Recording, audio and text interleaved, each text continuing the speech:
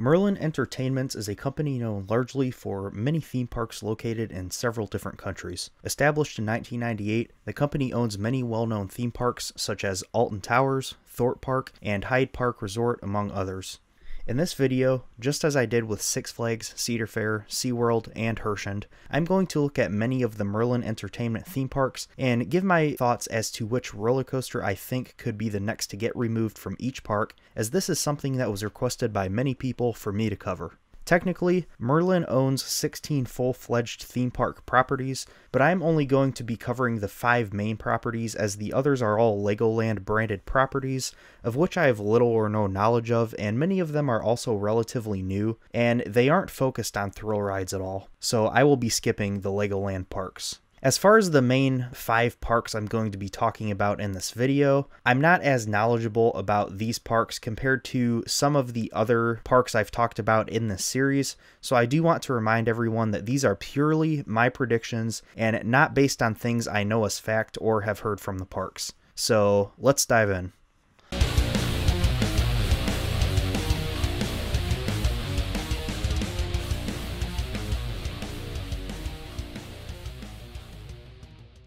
Alton Towers in the UK is a very historic park with a great history and has had many revolutionary roller coasters in their lineup over the years. Choosing one here that I thought would be removed soon was a bit of a challenge because I could see a few going soon. Those specifically are Rita, Runaway Mine Train, and Spinball Whizzer. The one I ultimately selected though is their 2005 Intamin Accelerator coaster known as Rita. From what I've heard, this ride is not received very well and it doesn't fit in with the park or the area that it's in that great either. The theme has been reworked a bit over the years to attempt to make it fit in better with its surroundings, but it seems that has just never been achieved quite how the park wanted.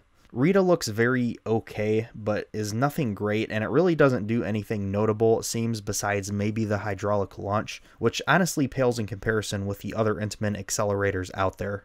You have this park that is full of many revolutionary rides such as Nemesis, Oblivion, and even Galactica, and this one just has never been received nearly as well as most of those other rides have, and that is why I ultimately chose Rita for Alton Towers.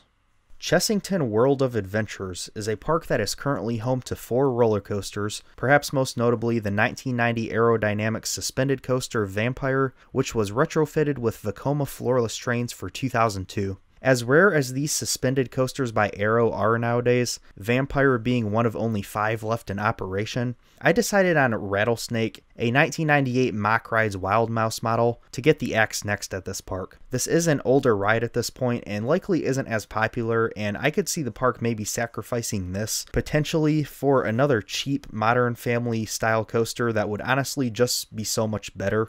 Chessington is a small family park with no real major thrill coasters, and they likely won't receive any major coasters, so they'll probably stick with the current coasters they have for quite some time. With Vampire having those Vekoma trains, maybe they can continue to maintain that for longer than many other parks have been able to maintain the Arrow suspended coasters, as Vekoma is still alive and well as a company. So, for all of those reasons, that is why I chose Rattlesnake for Chessington World of Adventures. For Italy's Gardaland, I had to make a call between two Vekomas the park currently has. They are home to one of the very first SLCs called Blue Tornado, which opened in 1998, but I decided on Shaman, known as Magic Mountain until 2016, which is a standard Vekoma MK1200 model, which opened back in 1985. It is the basic layout being the double loop and corkscrew iteration of the design. This is just very old at this point, and I can't see it sticking around for long. This ride did receive the newer style Vekoma trains with vest restraints for the 2009 season, so maybe they'll try to keep this going for a few more years, but for me, this was the clear pick for the next major coaster to go from Gardaland. Heide Park Resort in Germany has quite a solid collection of roller coasters, probably the best out of all the Merlin parks in my opinion. Out of Heide Park's current 9 roller coasters, I was struggling between a few of these. I did consider Desert Race, a clone of Rita at Alton Towers, and Bobbahn, which is a 1994 Mack bobsled coaster, but I ultimately went with the 1983 Big Loop, which is yet another Vekoma MK1200 model featuring two vertical loops and corkscrews, this one having a slightly different layout than the one at Gardaland.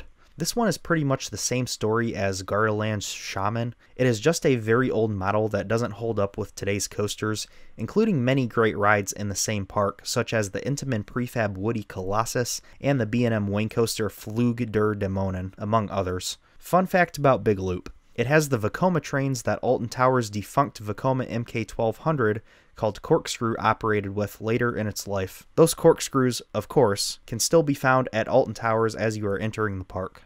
At the end of our list of Merlin parks to discuss, we have the UK's Thorpe Park. Thorpe seems to really like their horror themed rides, one of those being The Walking Dead The Ride. This is a small Vekoma indoor coaster that opened in 1996. The model is known as a Vekoma Enigma, and this ride previously went under the names X No Way Out until 2012, during which time it ran backwards, then was simply known as just X until 2017, where it then received a retheme for the 2018 season to be based around the hit TV series The Walking Dead. This is yet another coaster that is just older and likely no longer very popular at this point. Despite receiving a retheme just a couple years ago, I could see this ride biting the dust in the next few years to potentially make way for a more modern, thrilling ride, maybe even something else horror themed. I don't really see any other coasters being removed from Thorpe Park anytime soon. What are your thoughts? And do you agree with my picks, or do you think we'll see some other coasters going first from each of these parks? Be sure to let me know your thoughts and also check out my other videos from the series if you haven't seen them yet, which can all be found in a playlist on my channel. Be sure to like this video, subscribe, and like my page Coaster Daddy on Facebook, and follow me at Coaster Daddy Official on Instagram. Thanks so much for watching. This is Coaster Daddy. Bye.